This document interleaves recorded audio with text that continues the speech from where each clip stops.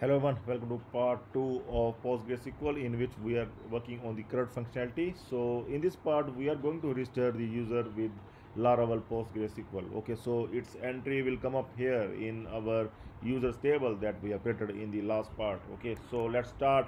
So first thing is that we are going to create the uh, user controller uh, that we are going to create as a resource controller. Okay, so uh, we will run uh, this is our project. Okay, so I'm going to run uh, right click uh, and here in mac new terminal folder. Otherwise you know that how to run the artisan commands okay?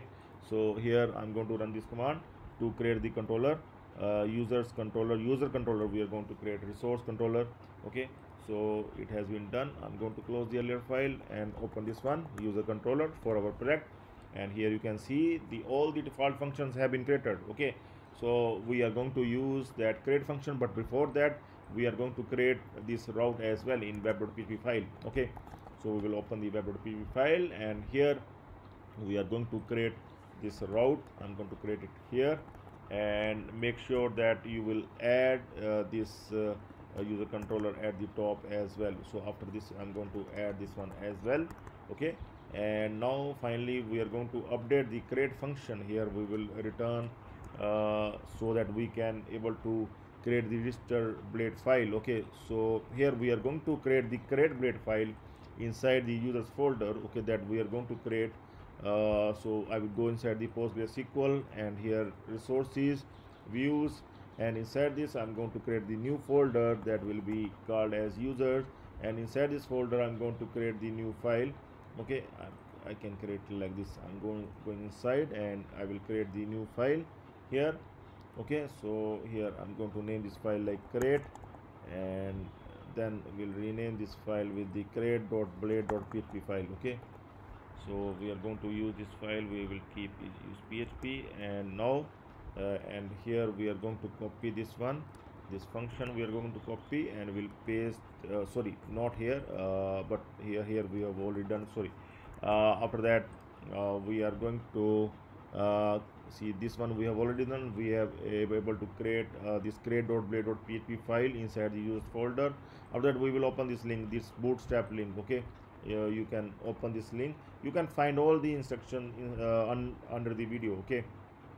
So after opening this link uh, here you, you can see the complete html you can copy this complete html and can put this one here but uh, here this body part we are going to replace actually we want to create the form okay?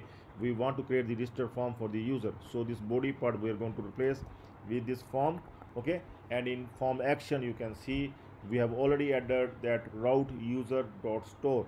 Because every time if we will create some user uh, it will get saved it uh, see this one is just for the form. This uh, function is just for for displaying the form but the store function is for saving the user into the database okay? So we will finally uh, update the store function as well so that we can save the uh, user entry into the database. So first of all we will check whether the data is coming here or not okay? From we are going to check uh, after posting. Let's uh, post some here i'm going to open that link okay and that is user uh, users slash create. So this form has been created you can see. So i am going to uh, now will try. Like i'm going to add amit gupta here my email id and here any email id i'm going to make like this one password 1256 i'm going to click on save okay? So after saving yes the data is coming here. So it's fine the data is coming here so we are going to bcrypt the password. We are not going to save the password like this. Uh, for laravel we need to bcrypt it so that it will get converted uh, it will get um, converted into hash format okay? And finally we are going to create the user. We are going to save this data. See here make sure that uh, all the uh, all the column names uh, must be matched with the with the column name of our, our our table our user table. So we can open here and we can check here in user table id name email password. So all column name must be matching okay? Uh, so that we can use this create function uh, of laravel to create the user okay? So uh, and we will return this message user created successfully and this message will get uh, must be shown here. So that message we are going to show uh, with this one we are going to add this one uh, under body we are going to add this one so that the message will get show once the user gets created. So now we are going to create the user and uh, see i'm going going back and now i'm going to create the user. Amit Gupta with this one and this email. Click on save and let's see. Ah okay sorry uh, we need to uh, this uh, user model is not there. So that's why it is showing uh, this error. So we need to add the model as well. Use app model so that we can save uh, this one okay? So because we are using here the user model here you can see. So but we have not added the model. We have not included the model. So that's why this error is coming. Uh, so once again we will go back and we'll try to save and let's see this time. And yes user created successfully. Uh, so the message has come now we are going to check in our pg admin uh, uh, users table here. I'm going to refresh this one and we'll see. I'm going to refresh and uh, we'll check out its entry okay? Uh, or we can click on all rows click here like this. And let's see if the entry yes entry has come up. You can see the amit gupta with email amit100 at the top com and this password that is saved in the hash format. So finally we able to save the entry uh, in our uh, users table of pg admin that is the part of postgresql okay? So one more entry we are going to add here like john singh i'm going to add here. John at the rate of yopmail.com password is 1256 i'm going to save it as well. And let's see this entry has also been done. I'm going to refresh our pg admin once again.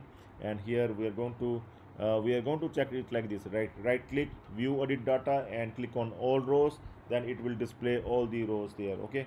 Uh, see i'm going to open.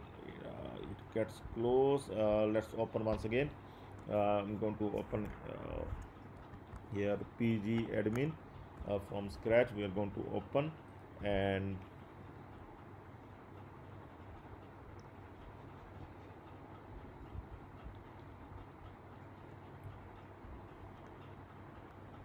Uh, so here you can see the John Singh entry has come up here as well. Now there are two records. One is with the Amit Gupta and second one is the John Singh. Okay, so we fi finally able to create the users and uh, we able to insert in our users table in the pg admin that is the past part of postgresql okay so in the next part uh, we will continue working on this CRUD functionality okay so stay tuned for the uh, uh, for the next part so that's all for now have a nice time goodbye